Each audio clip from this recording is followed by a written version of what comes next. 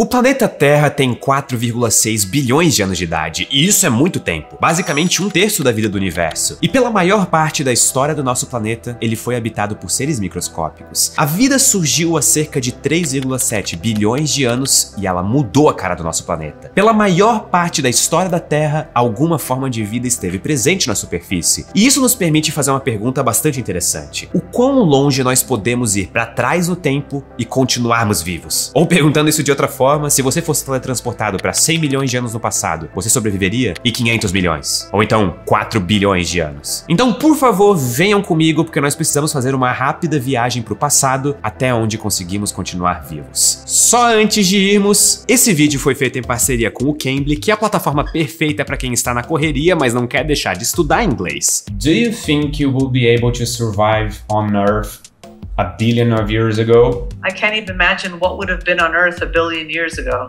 No Cambly você pode aprender ou melhorar o seu inglês conversando diretamente com professores que têm o inglês como língua nativa, não importa o seu nível atual de inglês. E mais, você pode escolher a hora que quiser para fazer a aula, porque o Cambly tem professores disponíveis 24 horas por dia, 7 dias por semana. E nesse exato momento, uma promoção VIP está acontecendo para vocês que me acompanham. Tem plano saindo por apenas 67 reais por mês. Só não demora demore porque essa promoção só é válida nas próximas 48 horas. Então clique no link aqui da descrição para garantir o seu desconto. E agora, de volta ao vídeo. Para começar a nossa viagem, nós primeiro precisamos estabelecer alguns parâmetros. Do que, que nós precisamos para ficar vivos? As quatro grandes necessidades humanas importantes são uma atmosfera respirável, água potável, comida macroscópica, nada de sushi, e um clima tolerável. A atual época geológica que nós habitamos é chamada de período quaternário, que já vem durando 2,5 milhões de anos. E a principal característica dela são ciclos alternados entre eras do gelo e aquecimento. Os seres humanos modernos surgiram nesse período há aproximadamente 270 mil anos. Nós passamos por algumas eras do gelo e provavelmente quase fomos extintos por uma cerca de 100 mil anos. Então, se você fosse solto perto dos polos da Terra há 100 mil anos, você morreria por duas razões: frio extremo ou escassez de recursos que vêm acompanhados do congelamento de uma boa porção do planeta. Mas aqui nós temos uma situação curiosa. Existem registros de seres humanos lidando bem com climas quentes e também também com climas frios. Então, a não ser que a gente esteja falando de coisas muito dramáticas e pontuais, como a extinção dos dinossauros via pedra espacial, humanos são até que bons em lidar com o clima. Mas o problema aqui é o plural, humanos, com S no final. Seres humanos, como comunidades, são bons em sobreviver na natureza, mas um ser humano sozinho é vulnerável, e não só pelo clima. Não muito tempo atrás, ainda na época quaternária, animais grandes eram bem mais comuns. Tigres dente de sabre, mamutes, preguiças gigantes. E humanos só conseguem lidar com esses desafios em grupo. A capacidade de organização social humana é o principal fator da nossa sobrevivência. Então, para ser justo com a nossa espécie,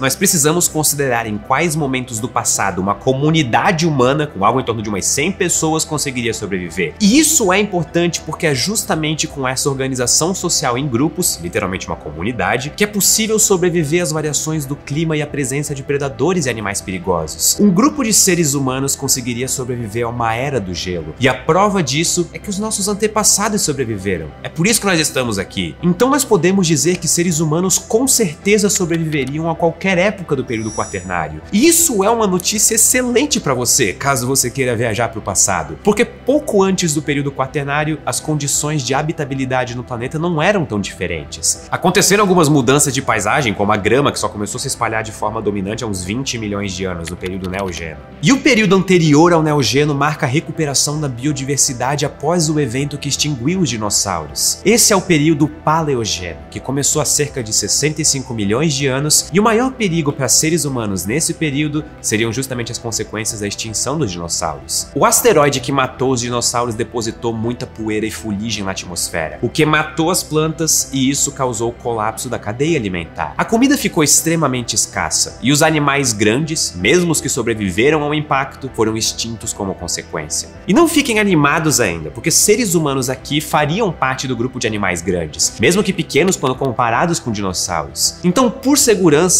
seria bom nós evitarmos os um milhão de anos após a extinção dos dinossauros se nós quisermos sobreviver. Mas dito isso e ignorando esse evento dramático, é bem provável que uma comunidade humana conseguiria sobreviver durante quase todo esse período entre a extinção dos dinossauros e hoje em dia. Essa janela de tempo é conhecida como a Era Cenozoica, que é a era dominada pelos mamíferos e pelos pássaros. Se nós voltarmos mais um pouco, nós chegamos no que eu acredito ser o momento mais divertido desse vídeo: conviver com dinossauros. Quer dizer, divertido para quem não foi comido. Essa é a era Mesozoica, contendo os três períodos do reino dos terríveis répteis: Triássico, Jurássico e Cretáceo. E aqui uma curiosidade: o Tiranossauro Rex, que é o dinossauro mais famoso do filme Jurassic Park, não vivia no período Jurássico, e sim no fim do período Cretáceo, há 85 milhões de anos. E isso é um detalhe importante, porque dinossauros reinaram no mundo por centenas de milhões de anos, mas vários dinossauros diferentes existiram em momentos diferentes da era Mesozoica. E mesmo tendo que dividir a Terra com dinossauros, a convivência seria difícil, mas não impossível. Os maiores dinossauros predadores poderiam dar bastante trabalho para comunidades humanas caso ambos tivessem existido simultaneamente. Até porque vários deles eram muito maiores e mais pesados do que todos os animais que os seres humanos conviveram durante toda a sua história. Mas existem chances de que caso a convivência tivesse acontecido, dinossauros não teriam tanto interesse em comer seres humanos no café da manhã. Predadores fora de situações de fome e necessidade costumam ter critérios e evitar comer presas desconhecidas. Isso é uma boa razão para não virar amigo de dinossauro. Continue sendo um desconhecido. Tubarões, por exemplo, não gostam de comer humanos. Quando eles mordem um é porque eles achavam que era outra coisa ou porque eles estão desesperados. Então não seria tão difícil assim evitar esses predadores porque provavelmente eles nem iriam atrás de você. Mais preocupante do que dinossauros seriam predadores menores em situações desesperadas. E esse também é um problema que seres humanos do passado já sobreviveram. Se a gente sobreviveu a conviver com lobos e leões e inclusive transformou lobos em pugs, a gente sobrevive a um velociraptor. Mas mudando um pouco o nosso foco de discussão de predadores para outros fatores da sobrevivência, aqui nós podemos notar algumas mudanças na atmosfera. Na época, a atmosfera da Terra tinha mais gás carbônico do que hoje, mas ainda não o suficiente para ser tóxico para nós. O clima também era mais quente, mas não muito. O pessoal do Rio de Janeiro sobreviveria numa boa.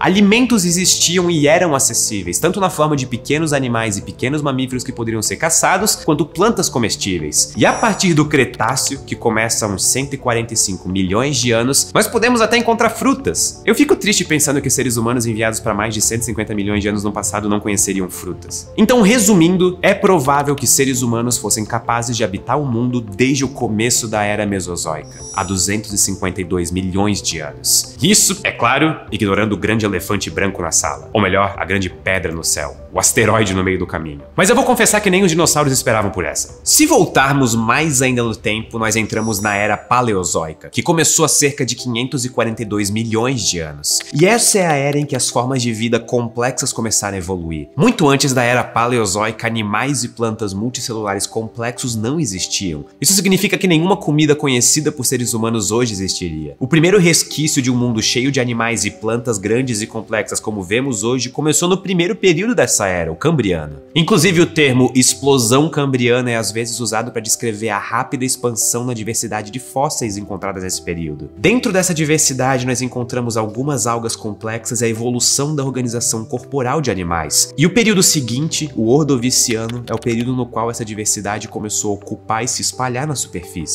Se você pensar em um animal e uma planta da superfície, você provavelmente vai pensar em algo que surgiu no período Ordoviciano, seja a organização do corpo do animal ou a estrutura da planta. Dito isso, nem tudo da era paleozoica são flores. Na verdade, nada são flores, porque as flores não estavam nem perto de evoluir ainda. Se uma comunidade humana fosse transportada para os primeiros períodos da era paleozoica, comida seria um verdadeiro problema. A explosão de diversidade animal e de plantas aconteceu nos oceanos ou próximo deles. Isso significa que seres humanos viajando para essa época do passado precisariam se manter próximos a grandes corpos de água e arranjar jeitos de pescar os animais mais estranhos que eles já viram na vida. Mas a comida não seria o pior problema. A atmosfera da época tinha oxigênio, mas também tinha muito gás carbônico. E provavelmente as concentrações de gás carbônico eram altas o suficiente para serem tóxicas. Dependendo da concentração, a presença de gás carbônico poderia causar desde leve dor de cabeça, sono e dificuldade de concentração até morte. E as nossas melhores estimativas para a composição atmosférica da época colocam as concentrações de gás carbônico na faixa bem mortal. Mas se por sorte as concentrações fossem baixas o suficiente para causarem os efeitos não mortais do gás carbônico, ninguém ia se divertir muito nessa época. Dor de cabeça, dificuldade de pensar, fadiga, isso tudo junto com as dificuldades ambientais poderiam tornar o período inabitável para seres humanos. Inclusive, falando de gás carbônico, foi justamente nos períodos finais do Paleozoico que o gás carbônico foi depositado abaixo do solo. E isso aconteceu quando plantas e pântanos se espalharam na superfície do planeta e começaram a usar esse gás no seu processo de respiração. 90% de todo o carvão no mundo foi depositado na crosta durante os períodos carbonífero e permiano, os dois períodos finais da era paleozoica. Provavelmente só seria seguro ser um ser humano a partir do período permiano, há 298 milhões de anos. Humanos simplesmente não estariam adaptados para viver de forma segura antes disso. Então o planeta é minimamente habitável para seres humanos desde 298 milhões de anos atrás, no período permiano, no final da era paleozoica. Se nós forçássemos um pouco a barra e tivéssemos sorte com os níveis de gás carbônico na atmosfera, talvez até pudéssemos sobreviver um pouco antes disso. E com mais sorte ainda, talvez toda a era paleozoica fosse habitável, mas com bastante desconforto por causa da composição atmosférica. Se você quisesse mais para trás no tempo, tipo mais do que 300 milhões de anos, você precisaria de tanques de oxigênio para sobreviver. E isso faz um certo sentido. As três eras comentadas, a paleozoica, a mesozoica e a cenozoica, formam juntas um éon geológico, que é o éon fanerozoico, caracterizado pela explosão em vida complexa no planeta. Esse é o éon da vida como nós imaginamos. A moral do vídeo é a seguinte: o mundo que nós conhecemos, com seus animais e plantas complexas, só começou a ter a cara que tem a partir de 500 milhões de anos no passado, a partir da explosão cambriana. E isso é só 11% da história do nosso planeta. Antes disso, a Terra não tinha capacidade de sustentar vida como a nossa. Então, se nós quiséssemos voltar para o passado, nós encontramos o nosso limite. Qualquer coisa para trás disso e nós precisaríamos lidar com temperaturas escaldantes, uma atmosfera tóxica,